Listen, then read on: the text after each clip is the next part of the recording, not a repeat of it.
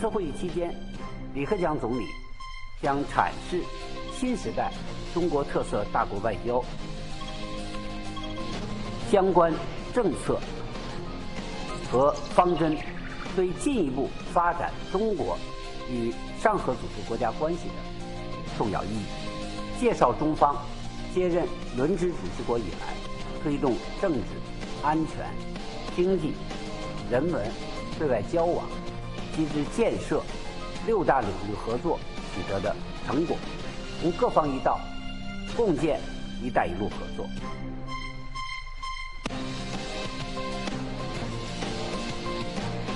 华人情，华人事，欢迎收看华文大直播，我是谢亚芳。中国国务院总理李克强将于十一月二十六号到十二月二号。出席第六次中国中东欧国家领导人会晤，并对匈牙利进行访问，以及出席上合组织成员国总理理事会第十六次会议。中方指这次行程对进一步推进上合组织以及各国的友好关系有重要意义。那么，更多消息立刻来看今天的焦点追击。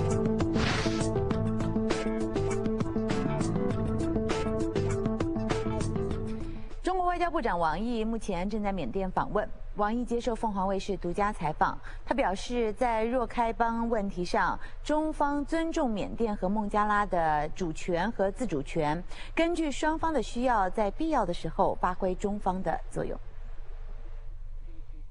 中国外长王毅对凤凰卫视表示，在缅孟两国间穿梭访问后，了解双方情况和综合缅孟两国主张的共同点，中方提出了解决若开邦问题的三个阶段解决设想，缅孟双方都表示赞同。中方认为，若开邦问题应该是先易后难、循序渐进，当务之急是把人道主义援助搞好，解决避难民众生活的急需，避免出现人道主义危机。同时要着手做好启动遣返的各种准备，因为这个准备工作还是很复杂的。最了解情况的是缅甸和孟加拉方面，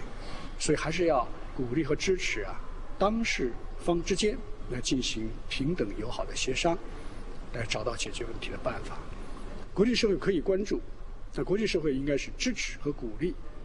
缅甸和孟加拉来进行啊谈判啊和对话。那么，呃，为他们提供必要的条件和环境。我们高兴看到，现在呃双方的对话已经启动起来了。王毅说，缅甸国务资政昂山素季非常赞同扶贫发展、长治久安的想法，因为贫困是产生动荡和冲突的根源和土壤。扶贫带动发展，使百姓可以安居乐业，这对缅甸、孟加拉和整个地区都是好事。我们会继续关注这个形势的发展。那么，在充分尊重缅甸和孟加拉的呃主权、自主权的基础之上，那么根据双方的需要，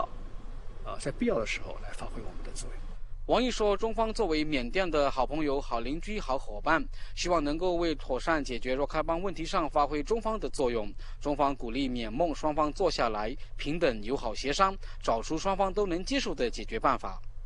凤山盛某缅甸内比都采访报道。那么，王毅又谈到了中缅经济走廊的建设，表示中国和缅甸共建“一带一路”将有力推动缅甸的整体发展。王毅在接受采访时说：“中国和缅甸探讨建设经济走廊已经有一阵时间。中缅经济走廊的好处是在于能把目前中缅互利合作的大项目相互连通起来，彼此促进，形成一个集成的效应。”中方提出这个设想后，缅甸国务资政昂山素季和缅甸社会各界都给予了积极的回应。我明确地告诉我资政，呃，那么中缅建设建设经济走廊，首先是要考虑。缅甸国家自身的发展的需要，根据缅甸的国家发展规划，那么我们来同缅甸通过平等的协商，来探讨这个走廊的呃发展的前景呃和它具体的规划。王毅说，中缅两国共建“一带一路”，把这个政治共识集体化，是一个看得见、摸得到的成果，这将肯定会有力推动缅甸整体的发展。那么，资政呃女士跟我讲，是不是可以先从交通啊，从电力开始，从一个最需要的一些呃路段开始？我说，我们恰恰想法是完全一致的。我们愿意从缅方最需要的领域开始，从最紧迫的项目开始做起，尤其是要惠及到缅甸的民生。对于百废待兴的缅甸来说，提高经济发展、改善民生是重中之重的工作。缅甸民众期望未来中缅两国的合作将能有效提升缅甸的经济，提高人民的生活水平。奉献上某缅甸内比都采访报道。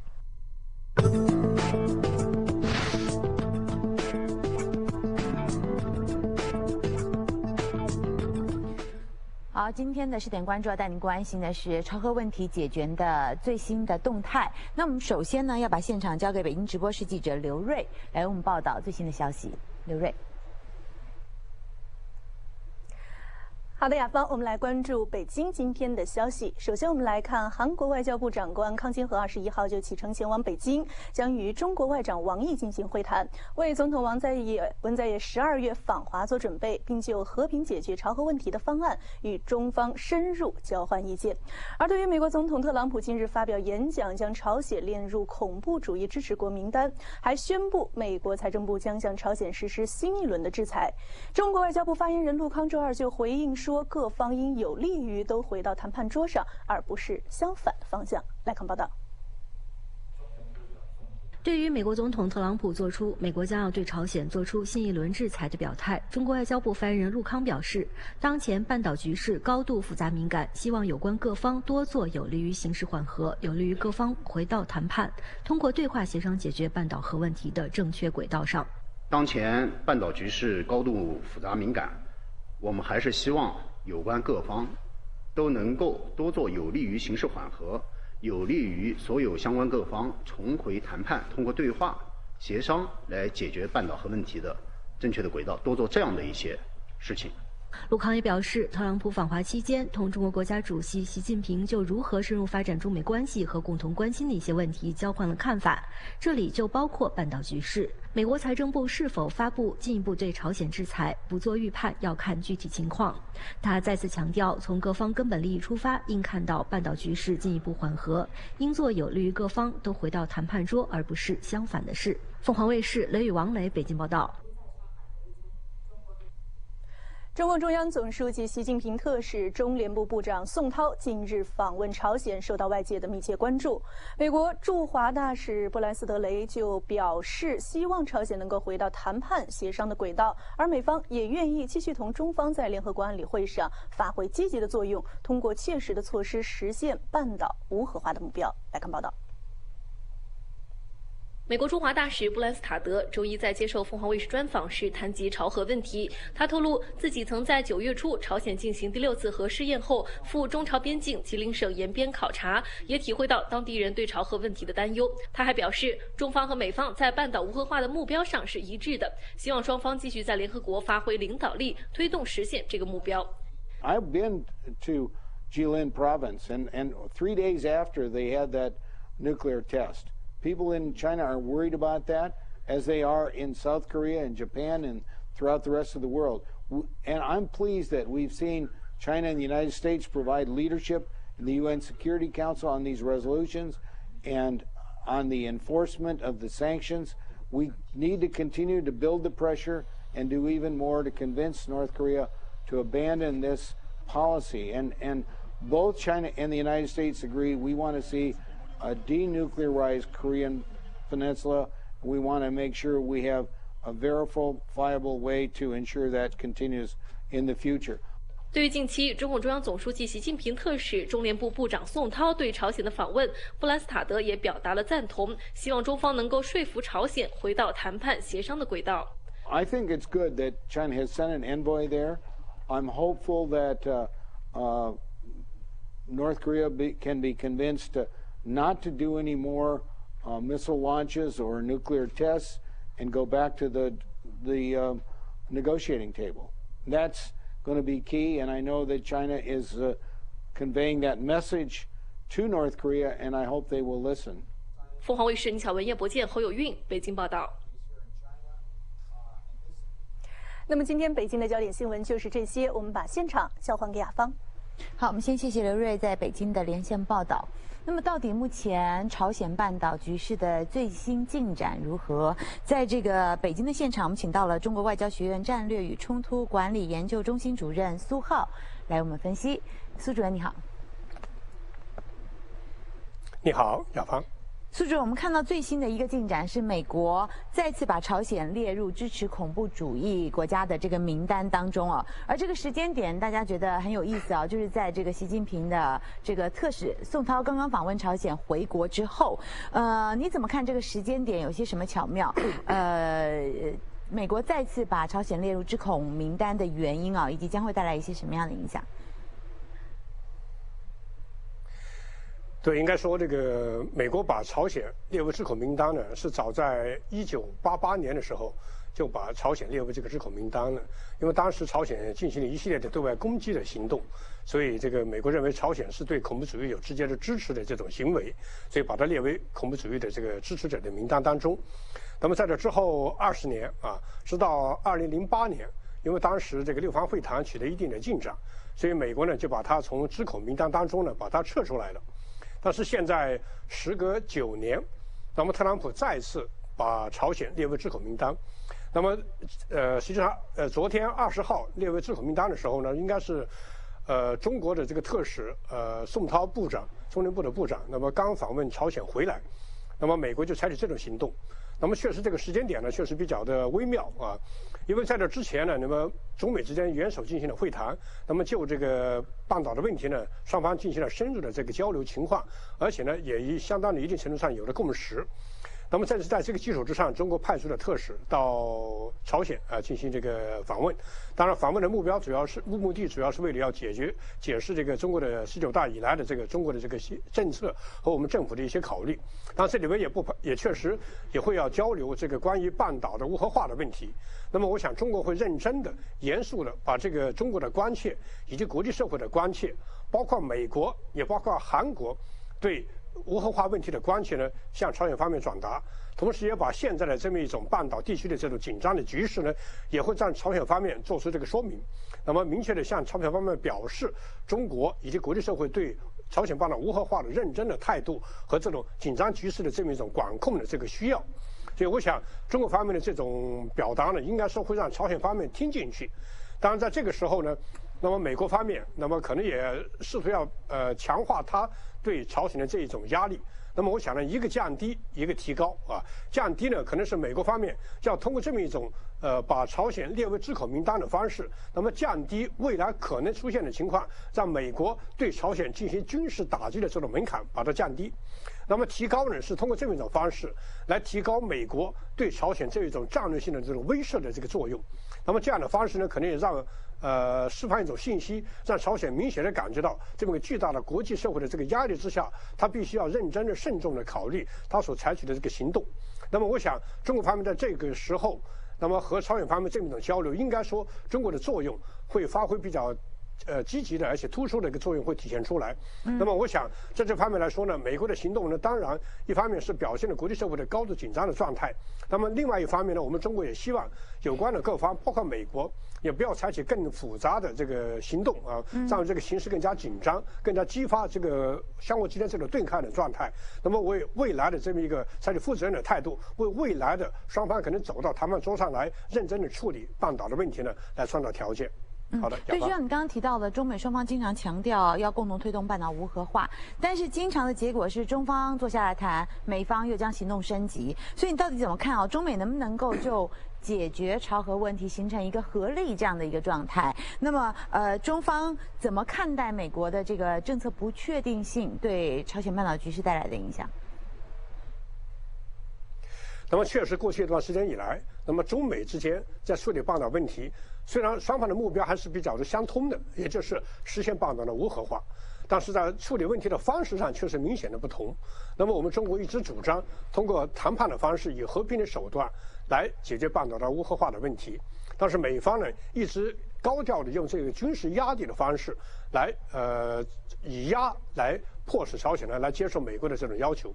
但现在的情况来看呢，显然美国这种不断的高压的方式来解决问题呢，显然不有呃不有利于和平的稳定的这个半岛的维持，同时可能会反而导致这种可能出现武装冲突的这种局局面的产生，而且这个状况呢一旦出现，实际上局面是很难以控制的，那么未来可能会出现非常复杂、难以管控的局面。所以从这个状况来看呢，从最坏的这个状况角度来评估呢，那么。呃，从中国角度呢，以及国际社会也看到，可能和平谈判来解决问题才是最佳的方式。那么中国方面也提出了过去提出来的双轨机制以及双涨停的方案。那么应该说还是一种合理的方式来处理半岛问题。嗯。那么我想这方面来说呢，美国也需要中国在这方面释放一种信息，向朝鲜方面做一些一定的工作。那么让朝鲜也理性的来采取一种态度来对待，呃，目前所出现这种复杂的局面。嗯，最后一点时间啊，我们看到中韩关系其实已在转暖了，这个高层互访也增加，所以你又怎么看待啊？双方将来在这个解决朝核问题上、朝鲜问题上，能够有一些什么样的作为？对，应该说朝鲜呃问题的这个朝核问题的状况，确实对于韩国、对于中国来看，都是一个很大的一个问题。那么尤其是韩国，造成很大的一个来自北方的所谓的威胁。那么在这个状况来下呢，应该说朝鲜呃韩国也非常希望中国方面发挥积极的作用，那么让这个高度紧张的状态呢有所降温。所以正因为这样呢，所以韩国方面那么在目前那么双方之间解在一定程度上大的问题上得到了这个封呃封存，那么从而使得双方的关系呢可以向前推进。在这个状态之下呢，应该说中韩之间可以有了非常重要的共同的安全基础，就是来维持半岛的和平稳定。特别是那么双方之间也各自从不同的方向。那么韩国实际上他也表达了这个，如果一旦条件成熟，那么韩国方面也希望和朝鲜来进行一种良性的互动。那么中国和朝鲜之间，那么通过这次高层的这么一个交流呢，应该说朝鲜方面也明确的知道了中国的关切。那么我想呢，这个通过不同的方向，那么使得朝鲜方面可以更多的理解和了解外部的状况，从而使得朝鲜可以以理性的方式来处理目前所面临的这么一种复杂的局面。我想在这点上，应该中韩之间可以相互沟通、相互协调，那么从不同的方向来达到相通的目标。好的，好的，我们谢谢苏主任就朝鲜半岛问题、朝核半岛问题，呃，目前这样的一个局势啊，为我们所做的分析。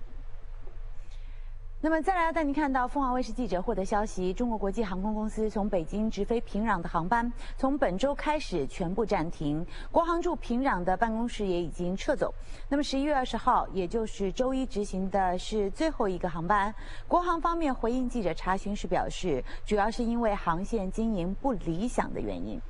另外，由中共中央党校常务副校长何应廷率领的中共十九大精神对外宣介团，星期二下午飞抵了首尔，展开对韩国的三天访问。那么期间，他将会晤韩方官员、政界人士和专家学者，向他们介绍中共十九大的成果。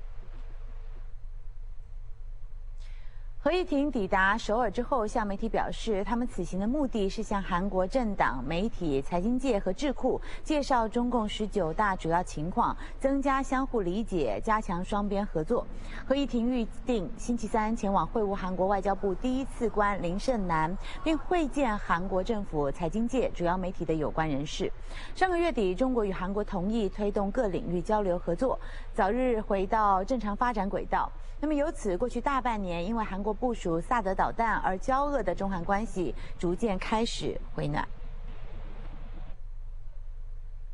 好，那么先去一下广告，回来带你关注其他的重要消息。我们一会儿见。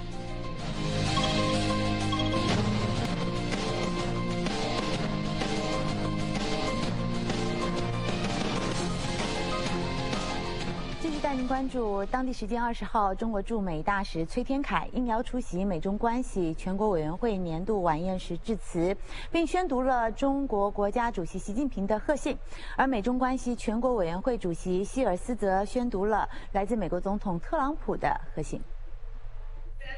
崔天凯大使在晚宴上宣读习近平主席致美中关系全国委员会贺信时表示：“中国将坚定不移深化改革，坚定不移扩大开放，发展同各国的友好合作，中美关系发展面临更加广阔的前景。” During his recent state visit to China, President Trump and I reached important consensus on a broad range of issues. We agreed on the need to broaden bilateral exchanges and cooperation. Strengthen communication and coordination on major international and regional issues. Properly handle differences on the basis of mutual respect. And strive for greater development of our bilateral relationship. 当晚，美中关系全国委员会主席希尔斯女士也宣读了来自总统特朗普的贺信。特朗普在贺信中强调，美中关系不仅影响到两国人民，更对世界各国谋求和平与繁荣至关重要。During my recent visit to Asia, I met with President Xi Jinping to build on our positive relationship and discuss our nation's economic and security priorities. I very much appreciate the warm welcome I received from the Chinese people, and I look forward to finding further areas of cooperation as we address common challenges. 此外，崔大使还在讲话中指出，中国的发展为中美关系带来了历史性机遇和广阔的前景，希望中美双方坚持两国关系发展的正确方向，保持两国关系持续健康稳定发展，造福两国人民和全世界。凤凰卫视陈经纬、丁烨纽约报道。中国国务院总理李克强星期二傍晚在北京会见了正在中国访问的日本企业界代表。他指出，近期中日关系正在逐步改善，双方应该加以珍惜，并且继续巩固改善的基础。日中经济协会联合日本经团联以及日本商工会议所三个日本经济界团体，共两百五十位企业家近期到访中国，这也是访华团历史上规模最大的一次。李克强周二傍晚在人民大会堂会见了这些企业家，并提到近期中日关系逐步改善，出现向好的势头，双方应继续巩固改善的基础，而这也需要中日两国的经济界继续加强沟通，增进交流。我们呢，应加珍惜。并且呢，来巩固中日关系改善的基础，这也需要中日两国的经济界继续加强沟通，增进交流与合作。日本经团联会长神原定征也代表日方表达了经济界对于日中关系改善的欢迎。他提出，希望两国首脑间持续性的交流能够进一步稳定两国的政治外交关系，这也是两国经济关系发展的基础。日中の経済関係発展の基盤として、やはり安定した政治外交関係が極めて重要だということでございます。我々日本経済界といたしましては、このような、え首脳間のですね継続的な交流を通じて。 日中間の安定した政治外交関係が強化されることを期待したいと思っております。日中经济协会每年派团访问中国，到今年已经是第四十三年。这次访华团在北京访问期间，还将同中国工信部、商务部以及国家发改委等部门官员进行交流，随后还将前往广东省考察当地企业。凤凰卫视倪小文、侯有运北京报道。 好，继续来关注各地的重要消息，请出香港直播室记者张建业以及台北直播室的连雅慧来为我们报道。首先把现场交给建业。谢谢雅芳。在香港，中共十九大精神中央宣讲堂团本周将会到香港为问责官员以及高级公务员讲解十九大的报告。香港特区行政长官林郑月娥强调，这是特区政府的惯常做法。香港有必要了解如何融入国家的发展大局。请看报道。行政长官林郑月娥在出席行政会议前证实，中央文献研究室主任冷荣会在本周到港，向特区政府官员讲解十九大报告。他指，邀请专家就重要议题演讲是政府的惯常做法，香港有必要了解如何融入国家发展大局。十九大嘅誒報告咧。對於國家嘅事務嘅發展咧係非常重要啦。咁當然對於香港咧，亦都係誒非常之重要。咁所以特區政府咧，亦都係按住以往嘅做法咧，就請中央就誒安排最適當嘅人選咧嚟到香港誒為我哋主持呢啲講座嘅。咁今次誒誒中央誒安排嘅咧就係誒中央文獻研究室誒主任冷溶先生，咁啊將會喺呢個禮拜咧就。誒為我嘅同事啊嚟到主持呢個嘅講座，中央係會支持港澳融入國家嘅發展大局。咁所以我哋都要知道呢個國家嘅發展大局係乜嘢嘢，先能夠啊有利於我哋可以融入呢個發展嘅大局啦。香港特區政府與廣東省早前簽署一地兩檢合作安排，展開三步走程序。不過協議的全部內容並未對外公開。林郑月娥指，暂时不公开，并非隐瞒。三步走的方法具备坚实的法理基础。被问到何时会重新向立法会提交为一地两检让路的印花税修订条例草案时，林郑月娥说：“要视乎整体形势。”不希望在附属条例上花大量时间审议。而为了尊重立法会的限制功能，林郑月娥指，明年一月起，她每个月会额外出席立法会会议一至两次，接受议员半个小时的质询。凤凰卫视胡晓彤香港报道。另外，香港中联办副主任何靖星期二从新时代、新目标、新思想以及新机遇四个方面对十九大报告做了详细的解读，并且鼓励香港人为“一国两制”成功实践行稳致远，和中华民族伟大复兴中国梦共同努力。请看报道。中联办副主任何靖二十一号在学习十九大精神座谈会上发表专题宣讲。他说：“中华民族在中国共产党领导下，实现了从站起来、富起来到强起来的伟大飞跃，找到并坚持拓展了符合中国国情的中国特色社会主义道路。”十九大呢，係全球矚目、舉世關注一次大會。世界上冇任何一個政黨嘅會議。能夠如此高嘅受到全球嘅關注，呢個唔單單係因為中國共產黨係世界上最大嘅執政黨，更加重要嘅係中國共產黨係世界上最成功嘅一個執政黨，被圍堵、被制裁，到而家呢逐漸走向世界舞台嘅中央。成為負責任嘅大國，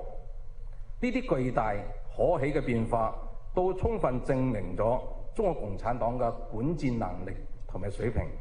何靖從新時代、新目標、新思想及新機遇四個方面對十九大報告做了解讀，並提到對港澳問題的論述，鼓勵香港人要抓住機遇，為一國兩制成功實踐行穩致遠和中華民族偉大復興中國夢共同努力。鳳凰衛視黃芷媛香港報道。上是香港今天的新闻重点，先把时间交还给雅芳。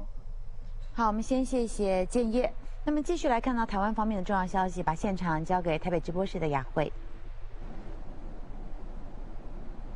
雅芳晚安，各位观众朋友，大家晚上好，一起来关心台湾县市长选举即将到来，国民党为了抢攻妇女选票，针对妇女议题及相关政策进行调查。民调结果显示，多数妇女不满意社会存在严重的低薪问题。大部分的人认为，蔡政府提出的公共托育解决低薪以及教育政策不见成效，让他们的压力不减反增。请看报道。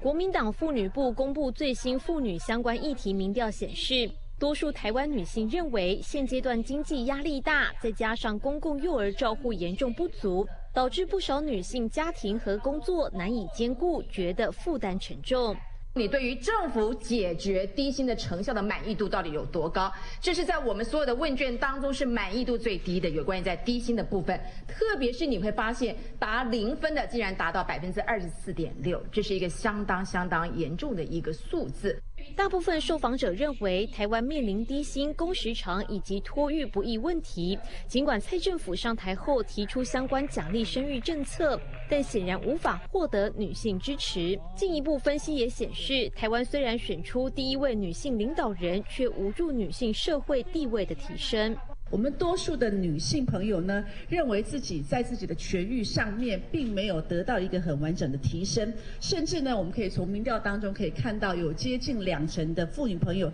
认为是完全没有帮助的。也就是说，我们认为蔡总统只有完成了自己的政治的最后一里路，但是呢，我们并没有看到对台湾我们将近九百万的成年的妇女来讲呢，呃，平权的最后一里路，我们现在还没有看到。国民党指出，蔡政府任用女性阁员人数已经创下二十年来最低纪录，根本是漠视性别平等。国民党呼吁，民进党政府应强化女性权益，提振经济，解决低薪问题，才能减少妇女压力。凤凰卫视列会彭诗婷、杨文尚、林哲宏台北报道。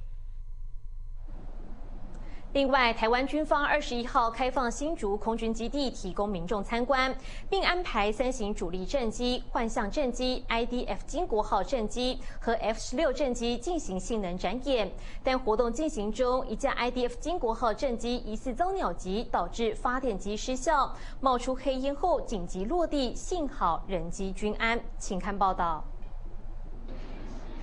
台湾空军举行年度展演，开放新竹空军基地让民众参观。各式主力战机在空中大秀飞行特技，在地面仰头观看的民众不时发出惊叹声。不过，下一幕，一架 IDF 金国号战机在执行战绩操演项目时，疑似隐形遭到飞鸟撞击，机尾窜出浓烟，现场一阵紧张。发生故障的金国号战机紧急落地，机身不断冒出浓烟，机场消防车立刻前往洒水降温，地勤人员一旁待命，直到飞行员离开机舱，工作人员才松了一口气。做一个战术拉伸的动作的时候，有听闻。我的飞机有碰碰的两个异声。军方表示，初步判断应该是鸟击造成发电机失效，降落后紧急动力系统自动启动，飞机冒黑烟是正常现象。后续的调查工作会持续进行，而这也是台湾空军基地开放活动首次发生战机遭鸟击的意外。凤凰卫视黄家腾、季敏怀台报道。以上就是今天台北站关注的焦点，先交还给雅芳。好，谢谢雅慧在台北以及今日在香港为我们所做的报道。那么先休息一会儿，回来看其他的重要消息。我们再见。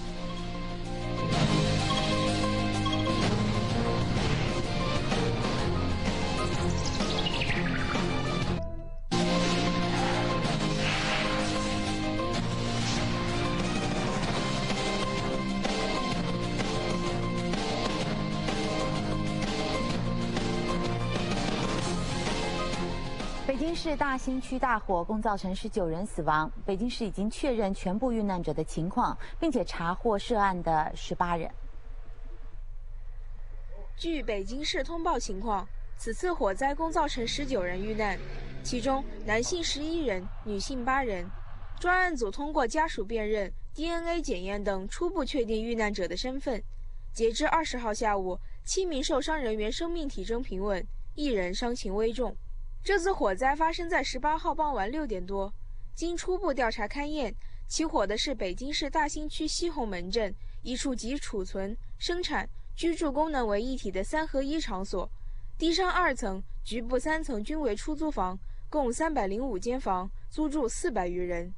事发后，公安机关以涉嫌重大责任事故罪立案侦查，目前共查获涉案人员十八人，均已采取刑事拘留强制措施。案件正在进一步审查，火灾原因也在进一步调查当中。凤凰卫视综合报道。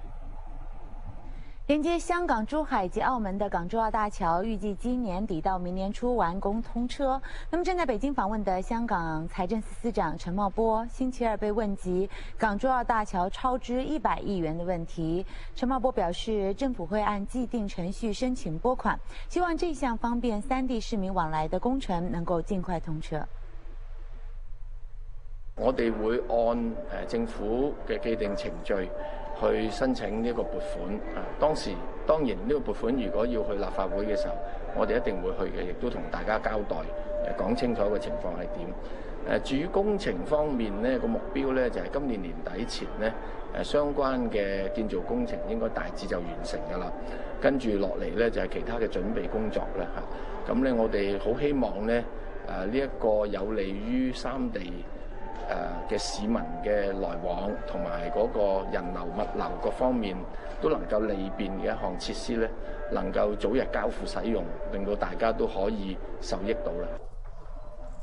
至于港珠澳三地对超支额分担比例问题，陈茂波表示，相信当时签署协议时有关相关的规定。目前因在北京访问，并没有相关的文件资料。他说，这次率领香港财经官员到北京，是与中央财经官员进行年度的交流，会重点讨论金融安全发展以及经济发展问题。一艘大陆籍渔船上个星期五在台湾离岛金门翻覆沉没，船上两人下落不明。失踪渔民的家属自行驾船前往金门岸边搜寻，但是因为没有证件，已经在星期二原船送返大陆。失踪大陆渔民的家属坐在岸边不断啜泣，多名海巡人员上前安抚，因为他的家人驾着渔船十七号在台湾离岛金门翻覆，三人落海，目前仍有两人下落不明。我们要回去把事情搞清楚，你们的身份我们都要先做资料，然后再看怎么协调，上面把你送回去。啊，你们在那边样医院过，你们你没带资料没什么，放过来放。失踪渔民的家属共十八人，是在二十号自行驾着两艘船，在金门礁岩区一带找寻落海的两名亲友。但因身上没有证件，违反两岸人民关系条例，遭金门案巡总队依法留置调查。我们回去了，我们也不在在这里办桌去了，我们过过过来的申请，申请的一个星期，我们来不及了。金门案巡总队表示，这是台湾首次有大陆渔民为了寻找失联亲友而非法入境，他们扣留一天后，已在二十一号下午原船送返大陆。访卫视李代景、洪志文特别报道。国际时尚界的盛事——维多利亚的秘密年度内衣大秀首度移师亚洲。那么星期一晚在上海隆重登场，中外维密天使们集体亮相。节目最后就带你一块去看一看这个撩动世界的大长腿。也感谢您收看今天的华文大直播，我是谢雅芳，在香港祝福全球华人健康平安，再会。